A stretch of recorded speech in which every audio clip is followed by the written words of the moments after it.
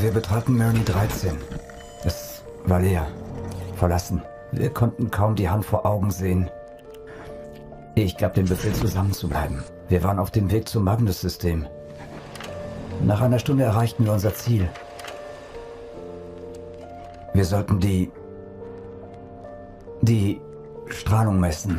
Meine Leute standen etwas weiter hinten. Ein heller Blitz. Die Panzer. Sie fingen an zu beben. Eine starke Explosion. Nein, etwas anderes. Die Lichter gingen aus. Ich winkte meine Leute an. Allen ging es gut.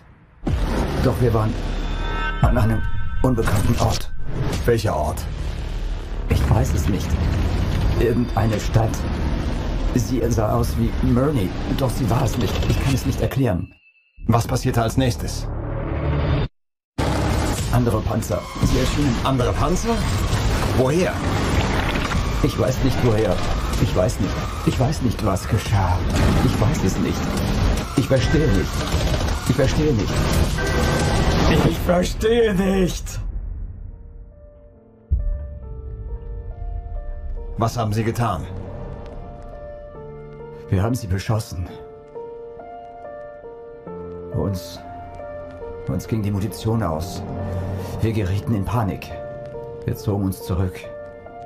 Ich entkam allein. Wie? Wie sind Sie entkommen? Wie bin ich entkommen?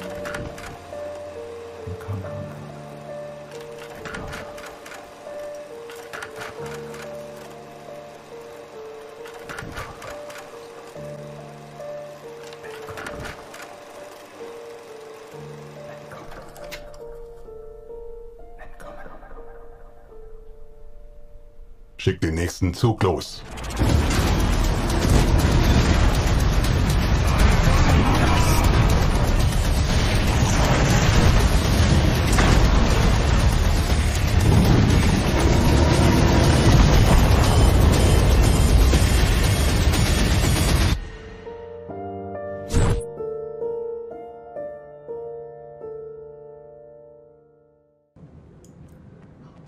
Willkommen in Mirni 13.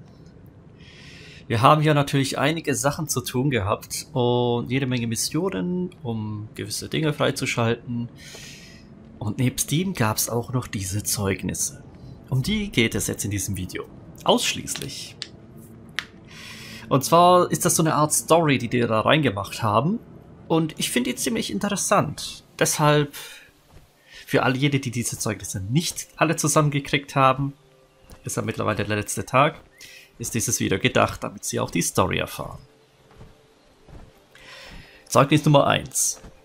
Ich hörte nur, dass Sie sich immer noch nicht darüber einig sind, welche Sprengkraft Sie brauchen. Also gewisse Aussprachen werden vielleicht ein bisschen verkorkst sein, wie zum Beispiel solche Namen hier. Äh, ich bitte dies zu entschuldigen, ich werde einfach, äh, naja, Auszug aus dem Brief des Gefreiten Ziaborski, 1 von 2. Dieser vom Militär zensierte Brief wurde in den Akten der Militäreinheit gefunden. Ich bin immer noch hier in Asagir. Mein Einsatz ist noch lange nicht abgeschlossen. Doch dank der Bearbeitungsdauer unseres Postdienstes wird euch mein Brief sicher erst erreichen, wenn ich nach Hause komme. Ganz ehrlich wünschte ich, ich könnte in Mirni bleiben, wo ich rekrutiert wurde. Das ist nur rund 20 Kilometer von hier entfernt, doch die Orte sind so unterschiedlich. Mirne ist eine kleine und gemütliche Stadt. In der Freizeit gibt es dort viel zu sehen und zu unternehmen. Ich wäre gerne einer dieser Soldaten der Stadtgarnison. Aber Asagir, dieser Ort bedrückt mich und hier fühlen sich die Tage qualvoll lang an. Ich lasse seit drei Monaten keine Bücher mehr. Mein Gott bekommt einfach keine. Niemand liefert sie aus Mirni. Wir haben Ausgangssperre und uns wird nichts gesagt. Scheinbar bin, scheinbar bin ich nur ein kleines Rädchen in einer großen Maschine, kein Verteidiger unseres Vaterlandes. Man merkt doch, dass es ein geheimes Versuchsgelände ist.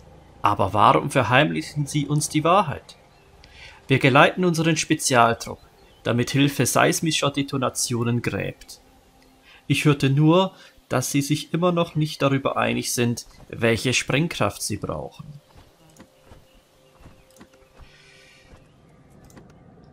Zeugnis Nummer 2 Laster mit Gefahrgutzeichen erreichen einer nach dem anderen die Stadt.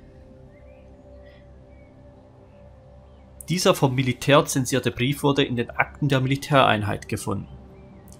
Die Leute vom Forschungsinstitut, die alle Aktivitäten beobachten, versichern uns, dass es das Bohren beschleunigen, Löcher in den Boden machen und andere Dinge bewerkstelligen soll. Aber Mirny ist keine Bergbaustadt. Es gibt dort Ölvorkommen, aber kein Erz. Ich habe keine Ahnung, warum sie Sprengstoffe verwenden, um Öl zu gewinnen. Außerdem ist es kein normales TNT. Sie verwenden Atombomben mit geringer Sprengkraft. Aber ich sah nichts. Eines ist sicher. Wenn sie dieses Unterfangen fortsetzen, führt das zu einem enormen Erdbeben. Wenigstens zeigen unsere Geigerzähler nichts. Entweder sind die Detonationen wirklich tief oder die Ladungen wirklich gering. Laster mit Gefahrgutzeichen erreichen einer nach dem anderen die Stadt. Grüß Papa von mir.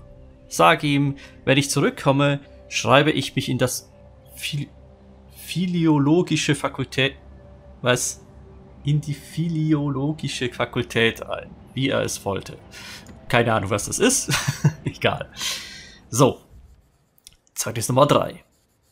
Später sagte er uns, dass vor langer Zeit etwas Ungewöhnliches im Öl entdeckt wurde.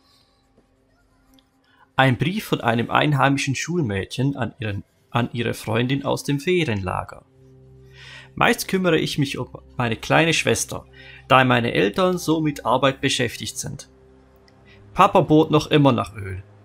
Er sagt immer, Öl sei unsere Zukunft. Ich fragte ihn einmal, wie es aussieht, und er brachte eine Kanne voll mit Öl nach Hause. Das war dann ein totales Schlamassel. Meine Schwester und ich waren voll Schlamm und Mama war so sauer auf Papa. Später sagte er uns, dass vor langer Zeit etwas Ungewöhnliches im Öl entdeckt wurde. Niemand hatte es, niemand hatte je so etwas gesehen. Bald war die Stadt voll mit Wissenschaftlern, die versuchten, das zu erklären. Papa lieferte ihnen Öl und so lernte er Mama kennen. Seitdem steht eine große Struktur in der Stadtmitte mit Leuten in weißen Kitteln, die etwas dorthin bringen. Die Struktur wird Magnus genannt und scheinbar ist sie wichtig, da Soldaten sie bewachen. Papa glaubt, dass die Wissenschaftler etwas aus dem Öl entfernen und in, den, und in Magnus lagern. Die Struktur sieht so schick aus. In der Sonne glänzt sie in verschiedenen Farben und brummt am Abend. Zeugnis Nummer 4 ist dieses Bild. Manchmal gingen wir zum Platz und haben uns das große Ding angesehen. Es glänzt so schön in der Sonne.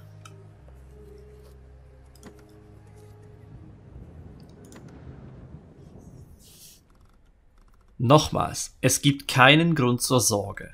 Alles wird sich in wenigen Tagen beruhigen.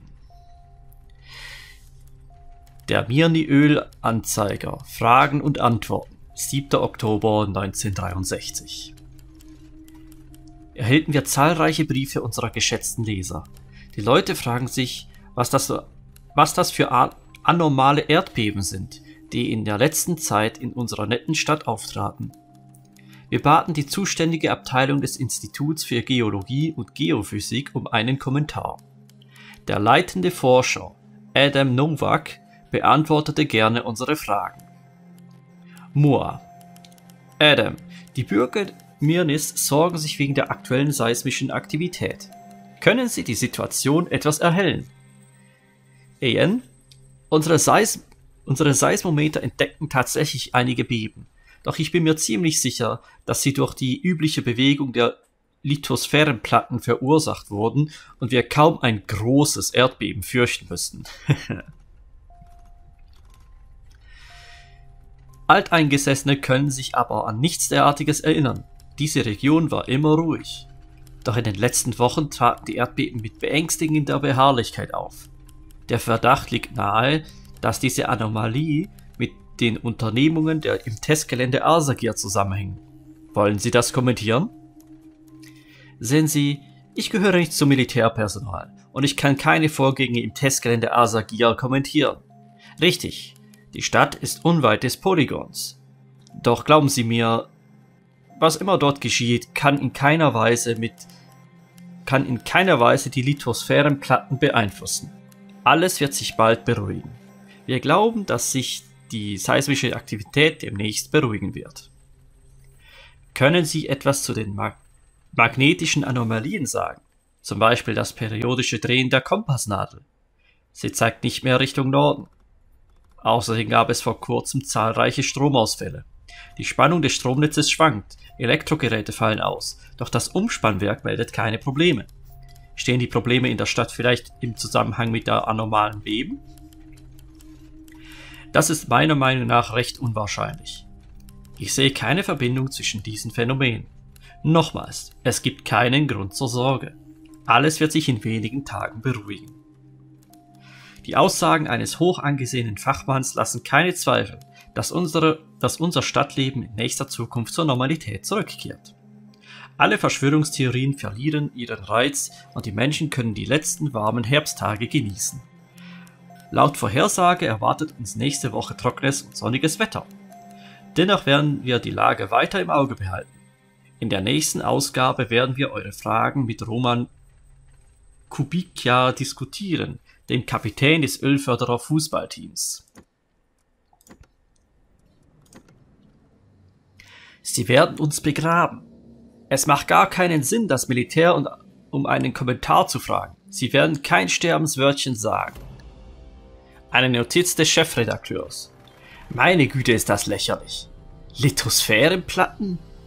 Wer ist dieser Novak eigentlich? Ich sprach eine Stunde mit ihm, bekam aber keine einzige direkte Antwort von ihm. Wollen wir unsere Leser absichtlich in die Irre führen? Jeder weiß, auch ich, dass das Militär der Grund für all das ist. Ich sah die Konvois nach Asagir mit eigenen Augen. Ich habe keine Ahnung, was mit solchen Militäreskorten transportiert wird. Sie bohrten an den Ölquellen in die Tiefe und laut meiner verlässlichen Quelle legten sie dort Sprengsätze. Sie werden uns begraben. Es macht gar keinen Sinn, das Militär um einen Kommentar zu fragen. Sie werden kein Sterbenswörtchen sagen. Ihr habt die seltsamen Lichter in der Nacht selber gesehen, die wie Nordlichter aussehen. Ein Ding der Unmöglichkeit auf diesem breiten Grad. Wie erklärt ihr euch die zahlreichen grundlosen Elektrobrände? Ganz zu schweigen davon, dass meiner Frau gestern eine Nadel auf den Teppich gefallen ist und unser Magnet sie nicht aufheben konnte. Über Nacht wurde er entmagnetisiert. Die Leute machen sich langsam Sorgen und sie glauben unseren Artikeln nicht. Wir beide wissen das. Bitte sei vernünftig. Pack deine Sachen und geh. Eine Nachricht einer ansässigen Frau an ihre Schwester. Nina, wir gehen. Emil weiß, wie er die Absperrung umgehen kann. Wir werden ihm folgen. Bitte sei vernünftig. Pack deine Sachen und geh. Schenke der Zeitungen keinen Glauben. Es ist zu gefährlich, noch länger hier zu bleiben.